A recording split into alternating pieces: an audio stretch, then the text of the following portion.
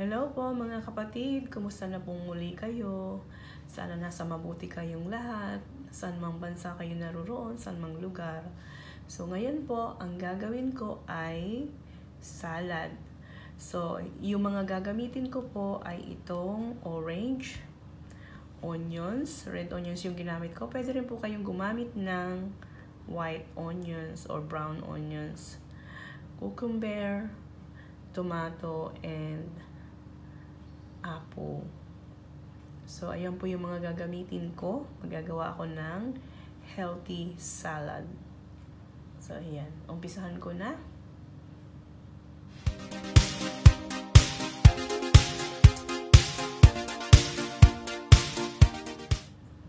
Ayan po, umpisahan na natin. So, kung mapapansin nyo mga kapatid, yung apple, binalatan ko. Kasi, hindi natin alam, minsan kasi yung apple may wax, di po ba? So, mas maganda na yon at mas safe na kung babalatan natin. So, ang ginawa ko, binalatan ko siya para sure na wala siyang wax sa ibabaw. So, ito, unahin natin ang cucumber.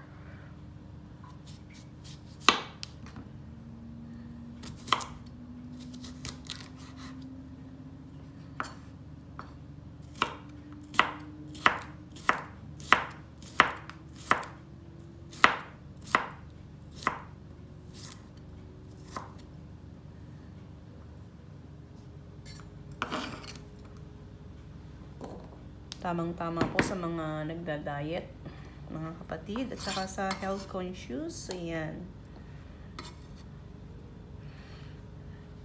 So, hiwain ko na rin tong sibuyas. Kalahati lang po yung nilagay kong sibuyas. Ayan, kalahati lang. Depende po sa inyo kung gusto niyo maraming sibuyas. Ayan, depende sa inyo.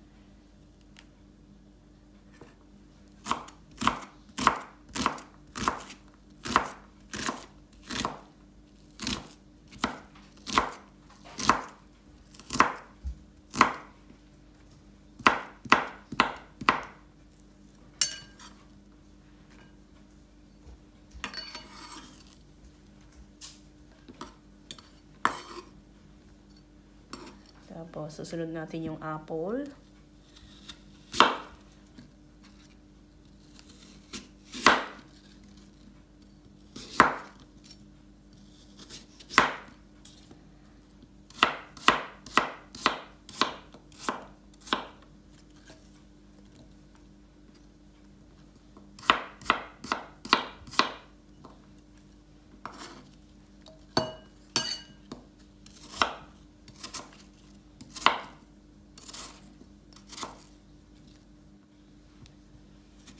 Natin ang kamatis.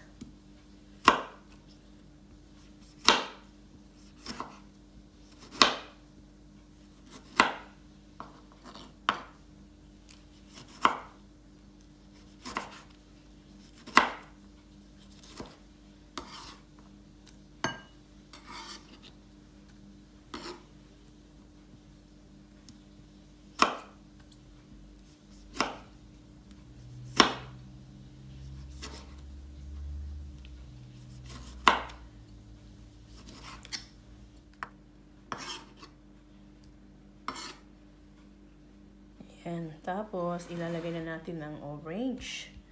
Ihiwain na natin ang orange.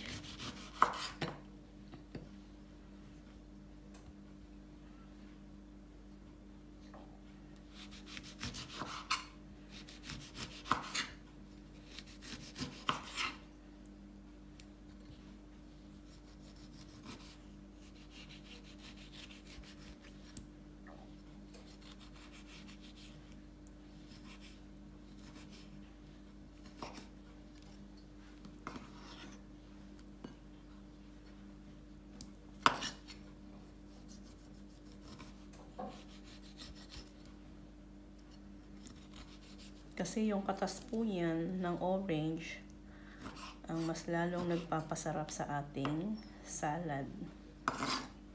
Yan.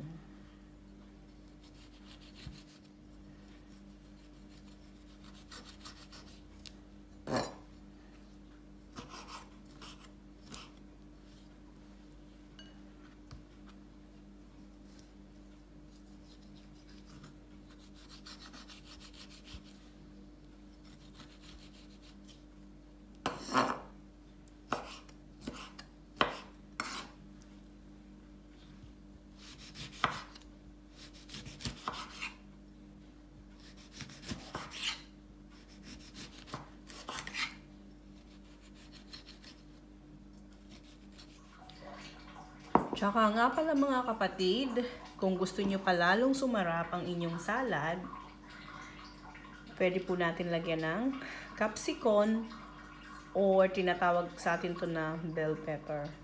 So, ayan. Lagyan natin siya ng capsicum.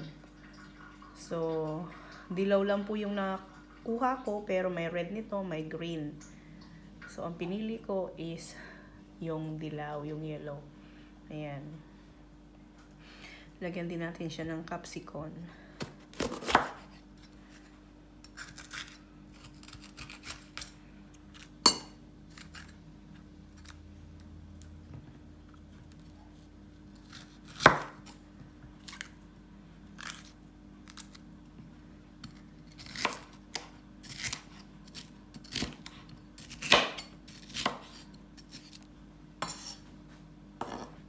Depende po sa inyo mga kapatid kung gaano yung ilalagay nyo, kung gaano karami ang ilalagay nyo. Kasi ito po ay source din ng vitamin C. Ayan.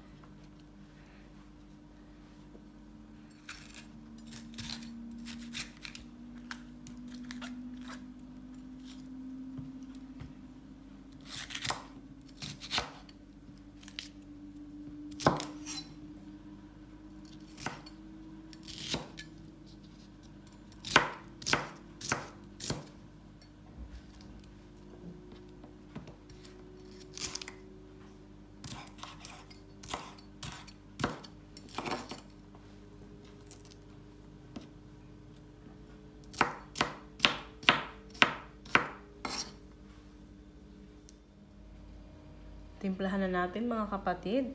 So, lalagyan natin ng salt. Ayan. Salt mga kapatid. And pepper. Ito ang pepper. Ayan, pepper.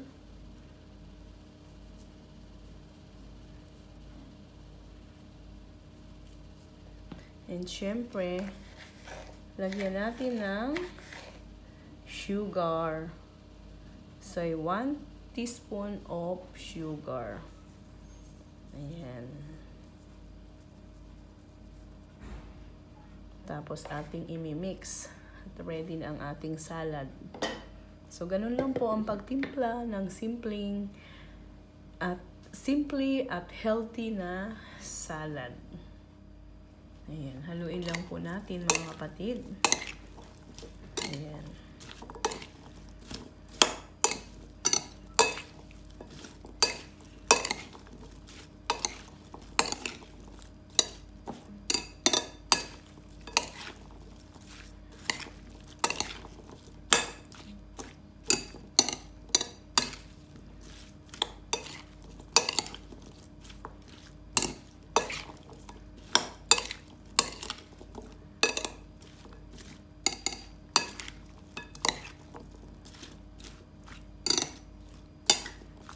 Ayan, ready na po ang ating salad. Naaamoy ko na. Ang sarap. Ang lilamnam ng mga prutas. Pinagsamang prutas at gulay. Ayan. Tikman na natin.